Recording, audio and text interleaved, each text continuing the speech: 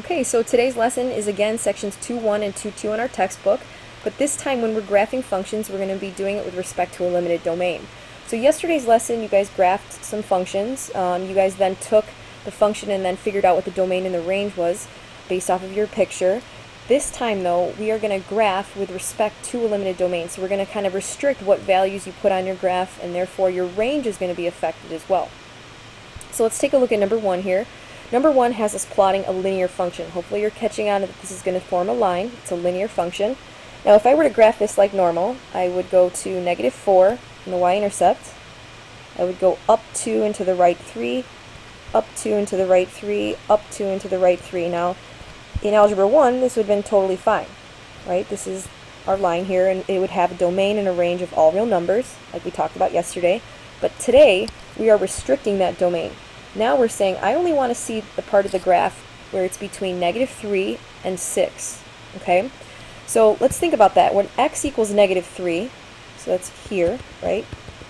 This point appears on that graph.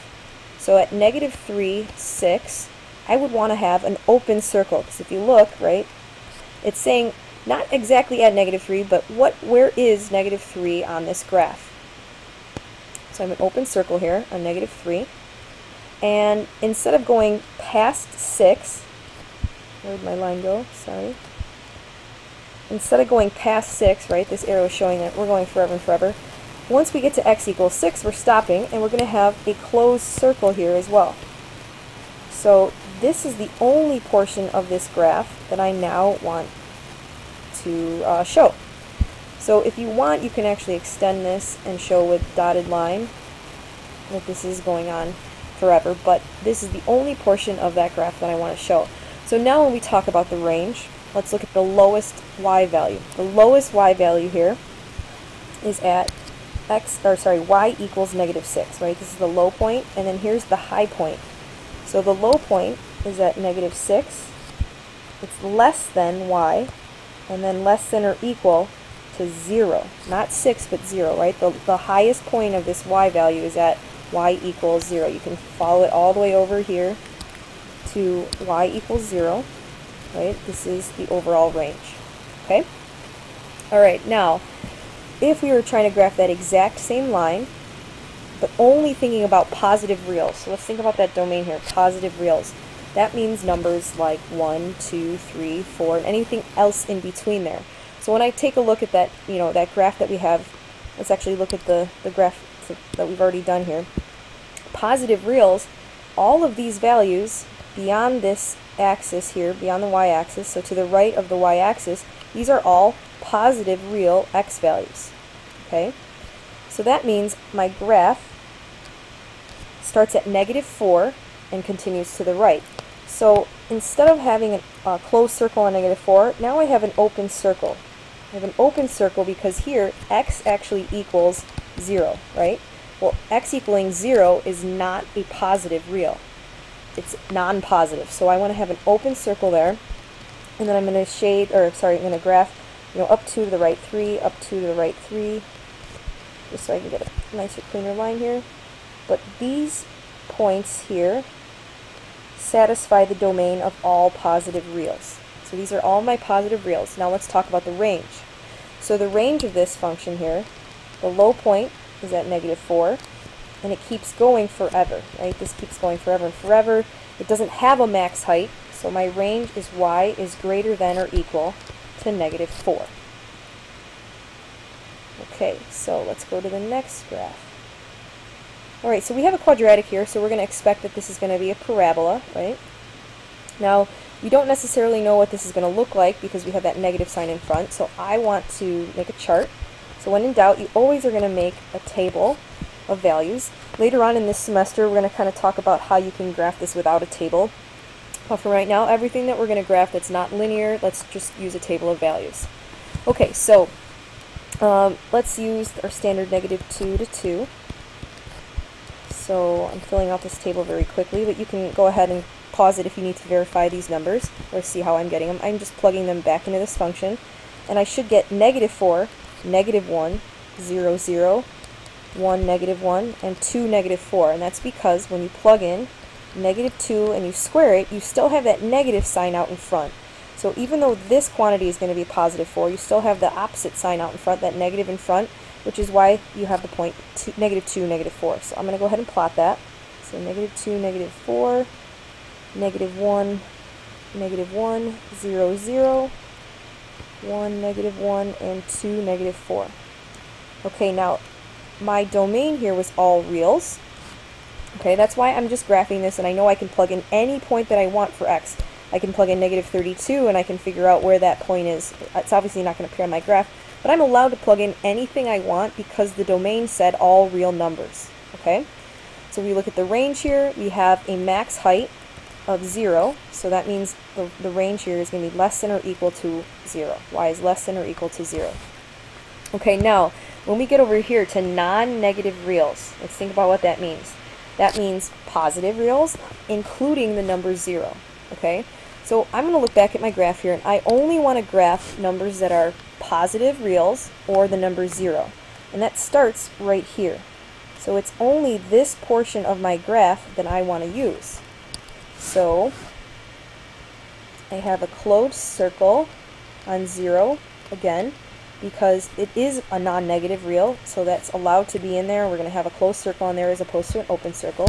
So I just graphed the same points that I had before, and this is our graph for non-negative reals. Now when we talk about the range, the range here is actually the same as the range beforehand because we still have a max value of 0. So we have y is less than or equal to 0. Okay. Now, if you are a table person, you like to draw your table and you like to see your table of values, you can show um, that you're never going to have anywhere else on this function. You know, you're not going to be plotting anywhere else because if you only select, remember your domain here says non-negative reals, so if you only select non-negative reals here, that would be numbers like 3, 6, I don't know, 144. You can't put a number like negative 2 into this domain. So before we were allowed to put negative 2 in, right? We got an output of negative 4. We are no longer allowed to put negative 2 in here because it is not a negative, or it, it is um, uh, a negative, which means it's not a non-negative real, okay? All right, so moving on. Let's take a look now. Um, this next example here has another quadratic, so this is going to be another parabola, okay? But our domain is very restricted now, okay? Our domain is only the digits 0, 1, 2, 3, and 4. When we make a table here, we are only allowed to put 0, 1, 2, 3, and 4. We can't put numbers in between those numbers. It's only those five digits that can go in. So I'm going to plug in, you know, in this function, 0 squared minus 6 gives me negative 6. 1 squared minus 6 gives me negative 5. 2 squared minus 6 gives me negative 2. Uh, 3 squared, 9 minus 6 gives me 3. Uh, 4 squared, 16 minus 6 gives me 10. Okay, so here are my table of values here. So I have the point 0, negative 6, 1, negative 5, 2, negative 2, 3, 3, and 4, 10.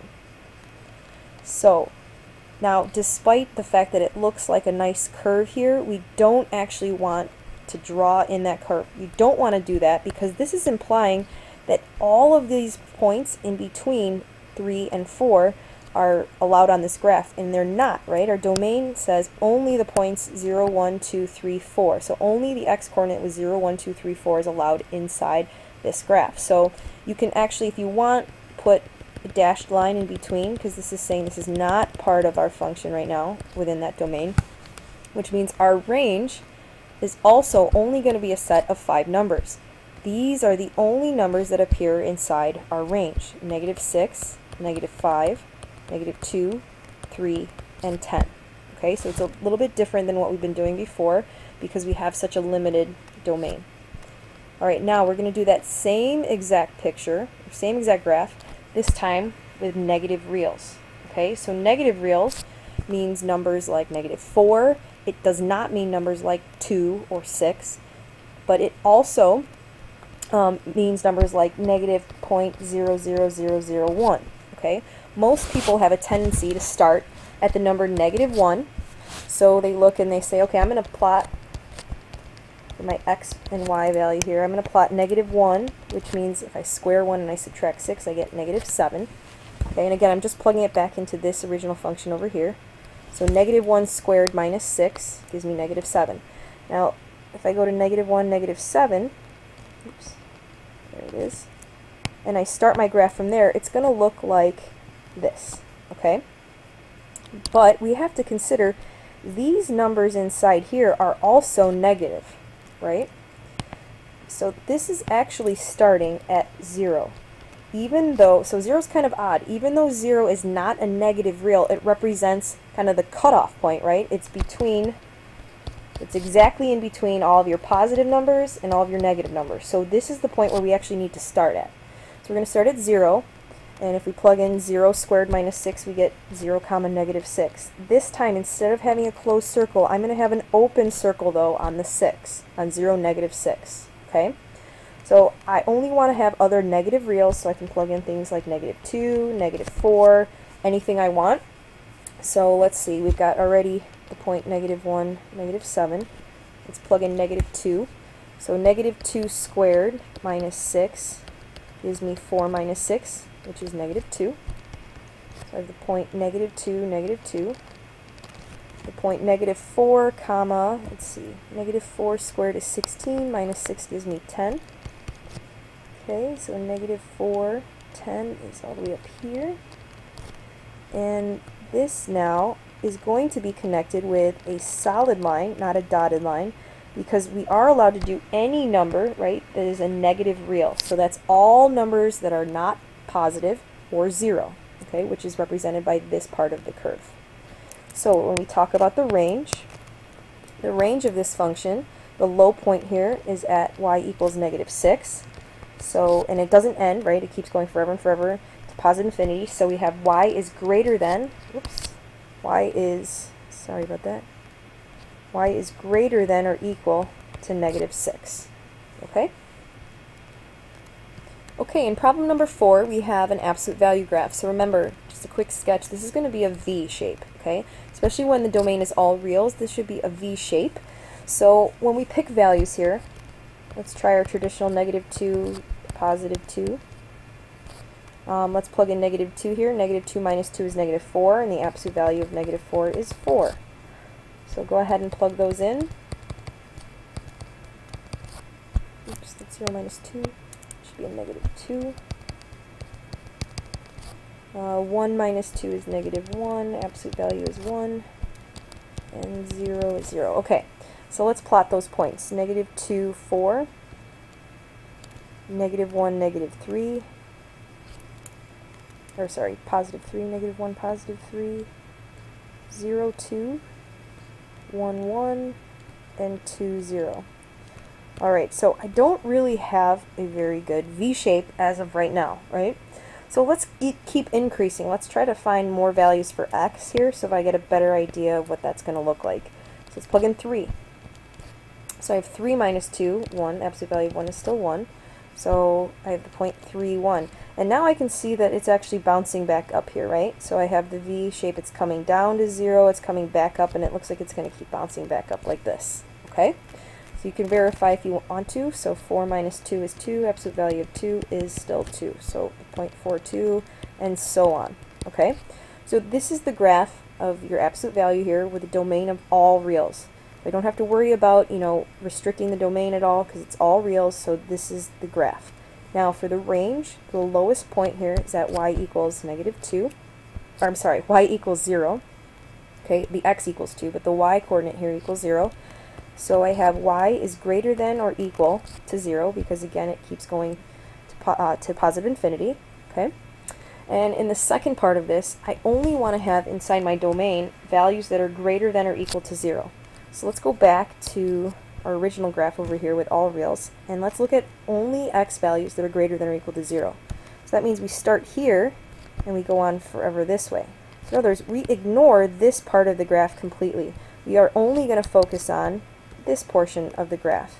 Okay, so I want a graph from 0 to uh, 1, 1, 2, 0, and onward. So 3, 1, 4, 1, and this is what it's going to look like.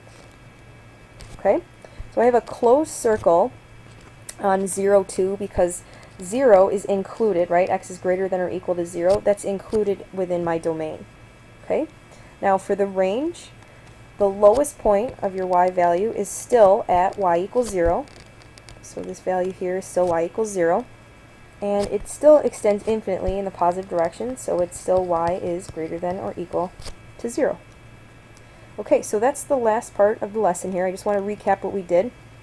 We started off with talking about, um, you know, limited domains here. We, we started with the linear equation, and when we graphed this um, yesterday, it was always all reals for domain and range, but when we have a limited domain, it does affect the range. So that's kind of the whole point of this, is when you have a limited domain, your range is therefore going to be affected. So your graphs look slightly different depending on whatever, you know, your domain is. Here we had a domain of all reals, so we had an entire parabola, right, the entire parabola here, let me highlight it, was included. And then when we switched over to a non-negative real domain, it's only this portion of your graph, all right? When we came over here, this is probably the trickiest of them all. This is where we had just those limited numbers. So 0, 1, 2, 3, and 4 were the only numbers included in our domain. Therefore, we had distinct points here, here, here, here, and here, meaning the range then was only these numbers, okay? So it's not all of the numbers in between here, which would be represented by a, you know, a solid line. So you can only include, when you have a range that looks like this, these particular numbers, okay? Alright, so um, tomorrow we're going to get some more practice with this because this is a pretty tricky uh, thing to do when you start talking about limited domains, so we'll get some more practice in class. Alright.